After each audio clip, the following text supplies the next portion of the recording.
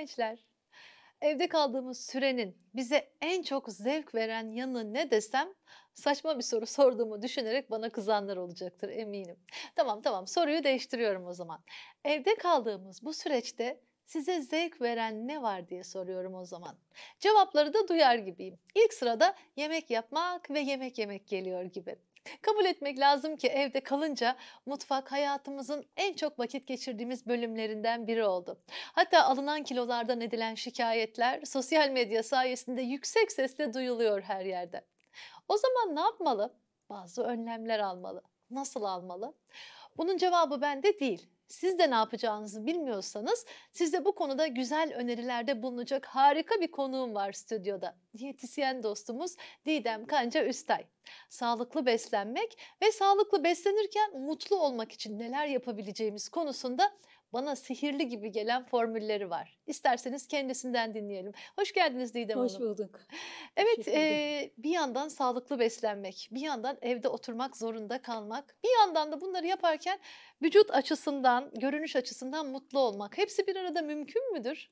Mümkün. Esasında ben bu zamanı bize verilmiş bir hediye olarak görüyorum. Şu anlamda ailelerimizle vakit geçirecek yoğunluktan var, e, zamanımız yoktu. Hepimiz bir koşturmacı içindeydik. Çoğu insan e, ebeveynler çalıştığı için evde yemek yapmaya vakitleri olmuyordu. Ev yemeği olmuyordu. Dışarıdan ısmarlıyorlardı. Evet. Şimdi mis gibi ev yemekleri yapmak için vaktimiz var. Doğru. E, gençler için aileleriyle birlikte zaman geçirme fırsatları var.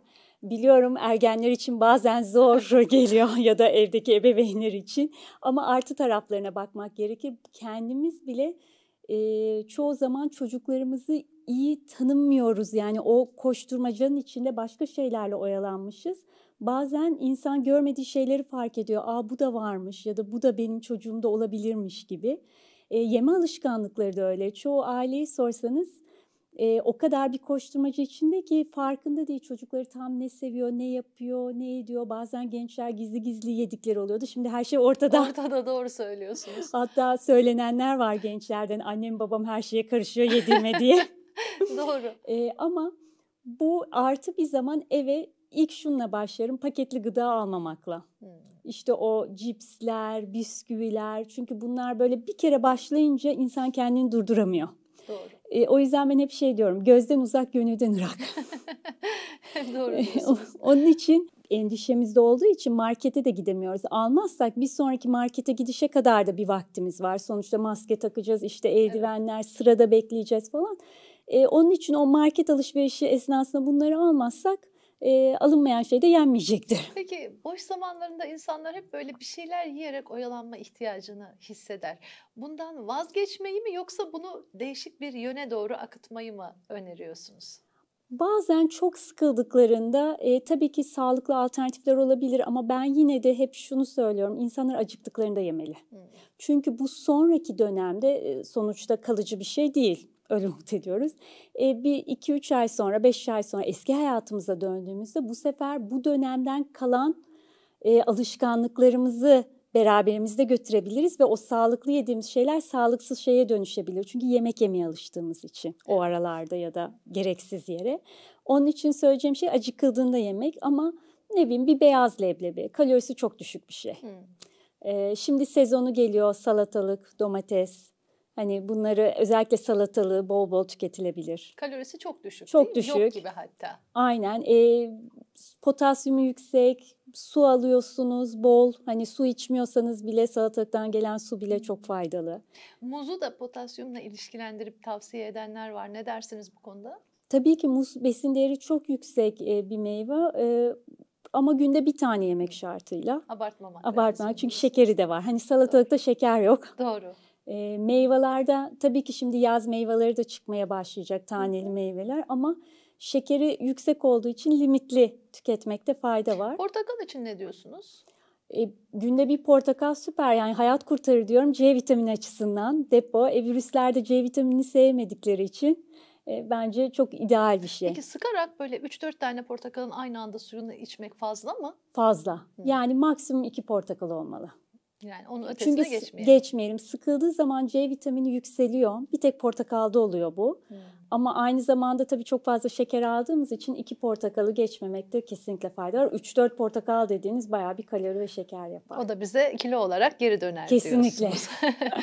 Öyleyse meyve tüketiminden başlayıp gidecek olursak günde hangi meyveden kaç tane yemek veyahut da bunları bütünleştirdiğinizde ne kadar miktarda meyve yemek lazım bu süreçte özellikle? Ee, tabii ki gün içinde neler yedil, yenildiğine de bağlı olaraktan alınan kalori, e, işte ne bileyim evde kek yenildiyse o gün hani tabii ki kek şeyin yerini tutmaz meyvenin ama çok fazla kalori ve şeker alınmaması açısından Hı. o gün belki yenmez ama günde iki meyve e, sağlıklı. Hani bir elma bir portakal olabilir, iki mandalina bir e, portakal olabilir. Değişir yani bir kivi bir mandalina, iki mandalina gibi. Hani C vitamini açısından söylüyorum Hı-hı. bunları. E, ama günde iki meyve olarak kalmakta. Limitlendirmeli. Biz mesela kendi ailem açısından da söylüyorum birçok ailede de aynı şey geçerlidir. Akşam televizyonun karşısına geçiyoruz. Kocaman bir tabağın içine 3-4 tane portakal, 4-5 tane elma, birkaç tane muz, birkaç kivi falan doldurup Aile bireylerine işte anne onları keser, biraz ona verir, biraz ona verir ve neredeyse bütün meyveler biter. Ve de akşam saatleri. Bu konuda bize ne söyleyeceksiniz? Yani bir kere şeker depoluyoruz. İnsülin üretmekte vücut zorlanıyor. Yani şekere davetiye, reflüye davetiye. Eyvah. E, o şeker e, sonuçta yatıyoruz bir iki saat sonra yağ dönüşüyor vücutta e, depolanıyor. Zinhar e, kilo olmamalı. olarak. Aynen. Hani e, o hiç olmamalı. Anladım. E, ve bizde tabii dediğinizde haklısınız nasıl olsa meyve bir şey yapmaz diye düşünüyoruz. Öyle bir imaj zaman. var. Bir de vitamin mineral ama e, şimdi o vitamin mineralleri yani zarar yarar dengesine bakmak gerekir. Bu sefer çok fazla şeker alınca da bu da sistem için zararlı bir şey. Hı hı. O yüzden e, dengeli ve az yemekte fayda var. Çok haklısınız. Peki yine ben gençlerin eğilimi açısından sormak istiyorum. Şimdi evde de olduğu için genç kızlar değil sadece genç erkekler de e, değişik bir şeyler yapalım. Hadi bir tatlı yapayım, internetten bulayım bir tarif yapayım. Hem biz yeriz hem de eğleniriz gibi bir takım e, alışkanlıklar geliştirdiler. E, böyle bir çalışma ve karşılığında yenilen tatlı nereye kadar e, sağlıklıdır, nereye kadar durmak gerekir?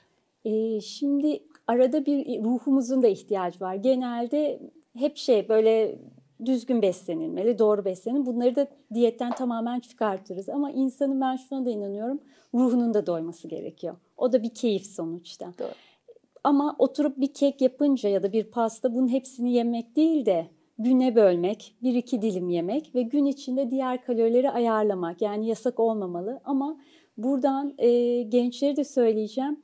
Bunların sürekli sosyal medyada e, fotoğrafları paylaşılıyor. Ben yaptım, şunu yaptım WhatsApp'ta ve karşı tarafa bunlarla ilgili çalışmalar var. E, beyin onu yani yeme ihtiyacı doğuruyor. Hı hı. E, o yüzden de bu tarz çok fazla fotoğraf gördüğümüz zaman maalesef daha çok da yeme eğiliminde bulunuyoruz. Ee, onun için bu tarz sayfalardan da uzak kalmakta belki bu dönem fayda olabilir yani sürekli yemek koyan insana. Doğru. E çünkü siz düşünmeseniz bile bir süre sonra e, düşünmeye başlıyorsunuz ki çok normal. Doğru. Bazen e, kilo problemi olanlar buzdolaplarının üzerine fotoğraflar yapıştırıyorlar. Şişman insan fotoğrafları böyle bir şey de önerir misiniz bu mantıkta? E, yani eğer iyi gelecekse o insanlara koysunlar. Neden olmasın diyorsunuz? Ama hep ben söylüyorum yemek e, temel içgüdüdür ve bu çocukluktan başlar.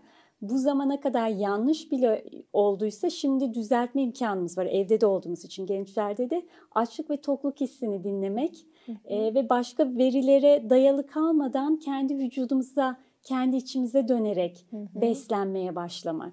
E, doyduğumuz noktada bırakmak, e, acıktığımızda yemek. Bir de tabii bu dönemler e, en hızlı e, büyüdüğü, gençlerin büyüdüğü, boyattığı, e, üreme organlarının geliştiği dönemler. O yüzden belli vitamin mineralleri alabilmeleri çok önemli. Sırf bu kalori değil yani bir kekten, bir pastadan ihtiyaçları olacak büyümeleri için gerekli olan e, vitamin mineralleri alamıyorlar. Bugün e, hani ileride de şu anda gördüğümüz zaman işte insanlarda e, doğum yapmada sıkıntı çekebiliyorlar, hamile kalmada, ileride çocuk sahibi olmakta. Bu gençlikten gelen bir şey. Şimdi yatırım yaparlarsa kendilerine, ileride bu tür sıkıntıları da yaşamayacaklar. e, bunun dışında kalsiyum mesela çok önemli bir şey. Çünkü tam kemik gelişiminin olduğu zamanlar, dişlerin oturduğu, evet. e, vücut için çok gerekli olan bir e, mineral. Bu kalsiyumu yani o kekin yerine tabii ki tutmaz. Ben demin de söyledim insan ruhunu doyurmalı ama e, ne bileyim bir içtiği bir bardak süt ya da bir kase yoğurt ve yanında meyveyle yediği ara öğün olarak kek yerine ona çok daha faydalı şekilde geri dönecek. Evet bu çok önemli. Malum şu anda Ramazan ayını yaşıyoruz ve e, evde kalan gençler de okullarındaki o tempodan uzak kaldığı için yetişkinler gibi onlar da e, belki birçoğu oruç tutmayı tercih ediyorlar. Şimdi e, bu süreç içinde nasıl beslenerek e, rahat ve sağlıklı bir oruç dönemi geçirebiliriz? Bize ondan bahseder misiniz Tabii, biraz da? E, şimdiden Allah kabul etsin diyelim. Amin. E, bir kere bence çok güzel bir zamana denk geldi. Hı hı. E, çünkü evdeler, hani dışarıda o yoğunluk yok. Bir de geçtiğimiz senelerde yaz çok sıcak oluyordu. Şimdi Evet. hani mevsim de düzeldi. O yüzden su ile ilgili de çok büyük sıkıntımız olmayacaktır hani Hı hı. su kaybı. E, bir de şu anda çok e, çalışmaların olduğu bir şey var. Intermittent fasting, aralıklı oruç diye. Zaten orucun Hı hı. çok önerildiği, birçok rahatsızlığa iyi geldiği Doğru. söylenen. E, bununla beraber şimdi sahura kalkmak da rahat olacak gençler için. Çünkü hemen yatmak zorunda değiller. Sahurdan başlayıp iftara döneceğim. Evet. Çünkü ilk güne sahurla zaten başlamış oldular. E, sahurda doyurucu bir şey yemek. Mesela bir tane yumurta ya da iki tane haşlanmış yumurta. Çünkü tok tutacaktır onları. Evet. E, peynir yiyeceklerse tuzsuz olması önemli susamaları, susamamaları Hı açısından. hı. Bir de e, e, evde kalanlar için söylüyorum, gençlerimiz için. Hı hı. Nasıl olsa evdeler e, tabii ki okul eğitimleri var ama biraz daha geç kalkma lüksleri de var. O yüzden sahurdan hemen sonra yatmazlarsa, Hı. çünkü yattıkları zaman tabii ki reflü e, ve kilo olarak da kalacaktır üstlerinde. Biraz oraya zaman dilimi koymak ya da oradan sonra ayakta kalıp öğlenliğin nasıl olsa evde uyuyabilirler. O da bir mantık. Hani öyle bir dinlenerek biraz geçirebilirler. Ee, akşam saatleri geldiğinde de suyla açmak. En güzeli. E, e, çünkü o vücudun en fazla suya ihtiyacı var. Evet. Su yaşam. Suyu içtikten sonra da normal ev yemeği yemek. Şeyi söylüyorum ben hep. Ee, bu, bu sıralar bilemiyorum tabii ki pidede ne durumda olacak. İnsanlar sıraya girecek mi girmeyecek mi? Ee, Ama kimi insan kahvaltı yemek istiyor. Kahvaltıyla açmak istiyor. Tabii ki açsın ama o zaman sırf kahvaltı olsun. hmm. Çünkü hem kahvaltı, arkasından çorba, arkasından İftarlarda yemek, öyle bir alışkanlık var. Evet. Üç öğünü bir öğüne sığdırmak gibi bir eğilimimiz var. arkasından tatlı. Evet, bu bunların hepsi aynı anda yenilmemeli, değil mi Didem Hanım? Tabii yani normal akşam yemeği yiyormuş gibi insanların davranmaları gerekir. Bir de şöyle bir e, durumdayız. Çoğu insan harekette etmiyor. Şimdi gerçekleri de konuşmak Tabii. gerekir. Gençler de öyle bütün gün bilgisayar başında oluyorlar, televizyon karşısında. Yani eski hareketimiz Tabii. de yok. O yüzden de vücut enerji yakmadığı için çok fazla bir enerjiye de ihtiyacı yok. Doğru. Ee, ve bunu artı olarak alıp akşamleyin az yersek hem hafif hissederiz Evet. e, hem sağlıklı az derken yine ev yemeği olsun. Çorbalarını yesinler, tencere yemeği, bir mercimek, kuru fasulye yanında pilavı olabilir, bir et Hı hı. yemeği olabilir, yoğurdu olabilir. E, ama e, en büyük hatalardan birisi bir de e, iftardan sonra tatlı ihtiyacın tabii olması. Çünkü İster istemez oluyor. Bunun önüne mi geçmek zorundayız? Yemeyelim az mi? yemek, Az yiyelim. az yiyelim. Miktarı. Eğer çok canı çıksa bir de her akşam yenmesi. Evet. Yani Hani- bir gün yeniyorsa ertesi gün ara vermek daha sağlıklı Aynen. olur diyorsunuz. Yani mesela baklava yiyorsa bir dilimle onu ama tadına vararak yesin. Ben e, şunu söylemek isterim. E, en önemli şey bize unutturulan e, tadına varmayı e, vararak yemek. Nasıl olur Didem Hanım bir şeyin tadına vararak yemek?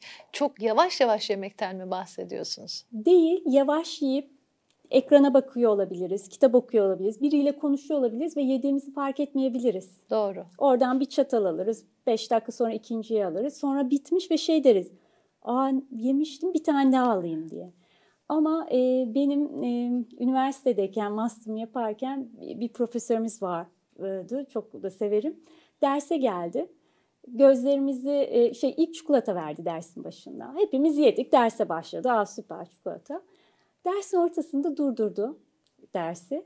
E, size dedi eşarp vereceğim, gözlerinizi bağlayacaksınız ve kulaklarınıza tıkaç. Sonrasında bir yemek vereceğim, tadına vararak yiyin. Tabii görmek ve duymak çok önemli iki duyu olduğu için onlar kapandığında tad alma çok daha gelişiyor. Hmm. Ben de elimde hissettim. Çikolatayı da çok severim. Hışır hışır açtım paketi. Yarısını yedim çikolata ama o çikolatayı sevmediğimi fark ettim. Yarısını bıraktım. Gözlerimi açtığımda dersin başındaki çikolatanın aynısıydı. Aa. Ve şeyi gördüm. O kadar fark etmeden aa çikolata geldi diye yemişim ki. O yüzden odaklanarak gerekiyorsa gözlerini kapatarak e, yani o hisse odaklanarak yedikleri zaman tatmin duygusu gelir. O zaman da ikinci, üçüncü dilime ya da e, kalan tatlıyı yeme ihtiyacı olmaz. Hmm. Vücut zaten kendi ihtiyacı olanı alıp geri kalanını istemeyebiliyor. E, bir de mutlu oluyorsunuz. Şimdi meyve de öyle. Televizyonun karşısında soyuluyor ya çok fazla şekilde konuluyor. Hı hı. Farkında değiliz. Bir şeye bakıyoruz, biriyle sohbet ediyoruz. Aa yemişiz. Oysa siz onun hakikaten tadına vararak yesen, yani yeseler e, o ihtiyacı duymayacaksınız. Bir tane bile size kafi gelecektir. Çok doğru söylüyorsunuz. Günlük alışkanlıklarımızın, günlük tempomuzun içine yemek yemeyi sığdırdığımızda bazen ne yediğimizin bile farkına varmıyoruz. Tokluk hissini de e, içimizde hissetmeden yemiş oluyoruz. Bu çok yanlış. Peki e, ideal olanını bize anlatır mısınız? Nasıl yemek yemeli? Yani oturduk sofraya. E, bunun bir temposu var mıdır? Yavaş yerken yiyelim derken nasıl bir yavaşlık olmalı? Belki bunun bir e, geleneği vardır diyelim. Şimdi tadına vararak yediğimizde zaten otomatikman yavaş yiyoruz. Hı hı. E, birden saldırı olmamalı önümüze yemek geldiğinde ondan keyif alarak, tadına bakarak hakikaten seviyor muyuz o yemeği e, ve biraz da takdir ederek çünkü bence bu dönem bize bunu da e, sunmuş olması gerekir. Hayatımızda olan şeyleri takdir etmek. Şükretmek. Şükretmek. Takdir ha. etmek. Evet. E, onun için ilk olarak onu yani ha yemek geldi hadi yiyeceğim değil de ne güzel yemeğimiz var, yiyebiliyoruz. Hani derler ya iftar sofralarına 3-5 dakika önce oturmak çok sevaptır diye. Herhalde o duyguyu yaşatmak için olmalı değil mi? Evet. Bakıyoruz ve yiyemediğimiz beklediğimiz yemek için bir sürü yemekle birlikte önce nefsimizi terbiye ediyoruz belki değil mi? Aynen, aynen çok güzel söylediniz. O yüzden Hani yemeğe öyle bakmak ve çoğu insanın kafasında gençlerde de oluyor bu. E, çünkü şimdi diyetler çok moda oldu biliyorsunuz. Hı hı. Ve e, gençler de evde kaldıkça kilo alma eğilimi de olmaya başladı. Bu sefer hep diyete başlayacağım. İşte hiç karbonhidrat yemeyeceğim, sırf protein ağırlıklı yiyeceğim. Bugün sadece kahve içeceğim ya da işte oruç tutuyorum, akşama kadar yemedim, çok az yiyeceğim. Bu sefer çok az yediği zaman ertesi günü çok açlık oluyor. Ertesi günkü iftarda hmm. saldırı oluyor ya da sahurda.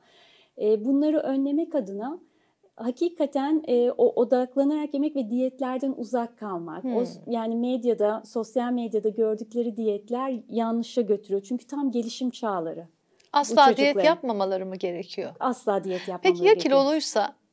Kiloluysa da ben zaten diyete karşı bir insanım. Öyle mi? Evet. Peki kilolarından nasıl kurtulabilir genç bir insan diyet yapmadan? Ee, sağlıklı beslenerek. Hmm. Tabii ki hareket de çok önemli ama bunu yaşam tarzı haline getirmek. Hmm. Çünkü diyetler e, kalıcı değil, geçici süre.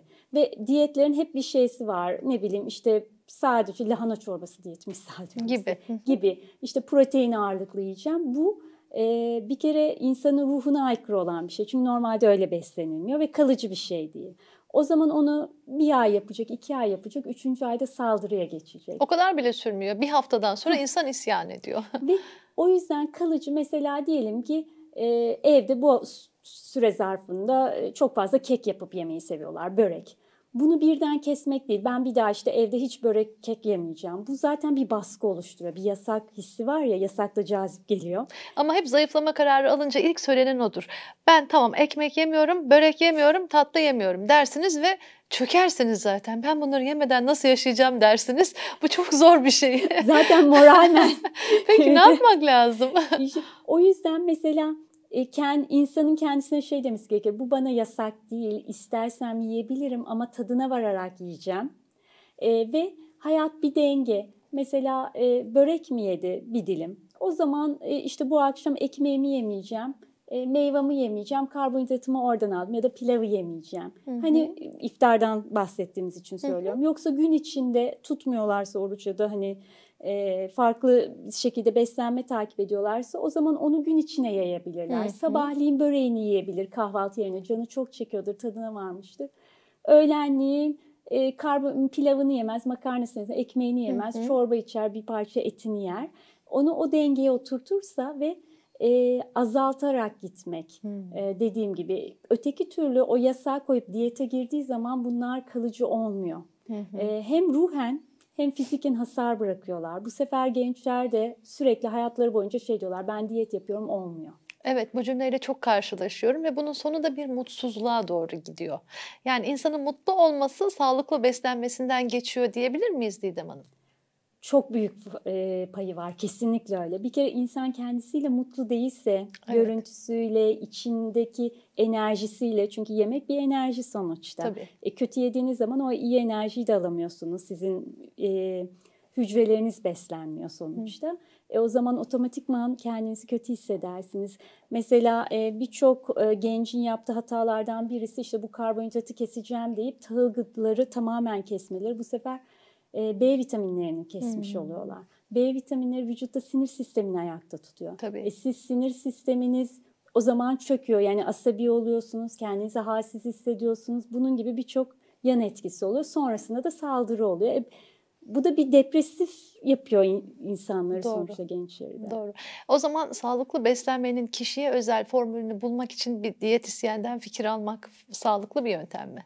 Kesinlikle. E, Şimdi e, evdeler de online bir sürü diyetisyeni takip edebilirler, bakabilirler, yazışabilirler, durumları olan e, kişiler görüşme sağlayabilirler. Doğru. e, öğrenmek adına Hı hı. e, kendilerini bilgilendirebilirler. Yani buna sırf kilo olarak beslenmeye bakılıyor. Bu yanlış bir şey. Hı hı. Beslenme sağlıklı olmak adına yapılan bir şey. Vücudumuzu kuvvetli tutmak, gerekli vitamin mineralleri aldığımız zaman zaten hücrelerde Hı hı. aşırı yemeğe gitmeyeceğiz. Bu çok önemli.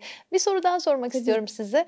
Ee, genellikle insanlar diyete girmeye karar verdiğinde gençlerde de çok görüyorum bunu. Her sabah tartının üzerine çıkıp işte kaç kilo kaç gram eksildim. Hay Allah o kadar da yemedim ama bugün 500 gram fazla görünüyorum gibi dertlerle e, dertleniyorlar. Bu bu yöntem için ne düşünüyorsunuz? E, bir kere tartılacaklarsa haftada bir daha ideal. Çünkü günlük gün içinde bile değişebiliyor. Aldığımız sodyum yani fazla tuzlu yemiş olabilirler. Vücutta ödem olmuş olabilir. Hormonlar bir kere gençlerde hormonal değişiklikler çok fazla oluyor büyüme çağında Evet. oldukları için. Bunun yarattığı ödem olabilir vücutlarında. O gün hareket etmemişlerdir. O sıkıntı bağırsakları iyi çalışmamıştır. Birçok faktör girebilir. O yüzden o günkü o hani 500 gram 1 kilo morali bozmaması gerekir. Onun için günlük tartı değil de haftada bir bakmaları daha iyi olabilir. çok önemli. İyi ki hatırlattınız bize bunu. Az önce yine su alımından bahsettiğiniz için tekrar sormak istiyorum. Şimdi sahura kalktılar, oruç tutan gençler veyahut da gün içinde işte hayatlarında e, su alan gençler günde e, ne kadar miktarda su içmeliler? Şimdi bunu söylemek çok zor bir şey. E, çünkü kimi genç çok fazla terliyor. Yani Hı hı. doğa yapısı olarak. Bir de hormonlar da aktive olduğu için Hı hı. e, gelişimde. Kimisi daha az terliyor, kimisi hareket ediyordur gün içinde spor yapan da oluyor, ip atlayan oluyor, e, ne bileyim online derslere katılanlar oluyor. Evde de olsa. Evde de olsa. O yüzden o su içimi e, kişiye göre değişiyor ama bazı gençler hiç içmedikleri gibi çok fazla e, kafein içecekleri tüketiyorlar. İşte kahveydi, çaydı gibi. Onlar zaten suyu da alıyor Hı vücuttan. hı. Yani hiçbir şey olmasa en azından bu bir kriter değil ama minimum dersek bir 5 bardak su kim olursa olsun içmeli. Beş Çünkü bardak. unutuyorlar. Ama bunun üstüne tabii ki çıkarsa daha iyidir. E, bir de vücut daha fazlasını yani biz şimdi 8 bardak deriz ama o vücut Belki 10 bardak O- istiyor. Aynen öyle. Hani ya da daha azı çünkü çok fazla sebze tüketiyordur, Hı. bitki çayları içiyordur. Hı hı. Hani oradan alıyordur suyunu. Hı hı. Yani Evet. ona göre vücudun aldığı besinlere bağlı olarak. Ama minimum 5 bardak iyidir diyorsunuz. Peki sahur yemeğine kalkan bir insan 5 bardağı aynı anda içemezse ne olacak? Yok zaten 5 bardak fazla gelir. Hani çünkü birazını iftarda da içebilir. Hmm, Hani o iki şekilde. bardağı içip hiç içmeden yatmasın. Hı hı. Sonra iftarda da hani bir bardakla açıp e, geri kalanında yavaş yavaş içmek. Çünkü birden bazı insanların midesi de bulanabiliyor. Hani o kadar tabii. suyu aldığında. Peki e, su yerine çay veya başka bir içecek e, aynı amaca hizmet ediyor mu? Bitki çayı olursa evet ama burada mesela yeşil çay hayır. Çünkü kafeini çok yüksek Hmm. yeşil çayın. O da suyu çekiyor. Ama diğer bitki çayları nane çayı olabilir, ıhlamurdu hani gibi. Ee, onlardan tabii ki alabilirler. Sevgili Didem Hanım verdiğiniz değerli bilgiler için size çok teşekkür ediyoruz. Eminim gençler şu dönemdeki beslenme sistemlerinde belli ayarlamalara gideceklerdir. Hem Ramazan'da hem günlük hayatlarını sürdürürlerse normal zamanlarda e, verdiğiniz e, fikirlerden yola çıkarak herhalde çok daha sağlıklı ve mutlu yaşayacaklar diye düşünüyorum. Umut ederim. Çok teşekkürler. Didem Kanca Üsta ile birlikteydik sevgili gençler. Tekrar görüşünceye kadar hoşçakalın.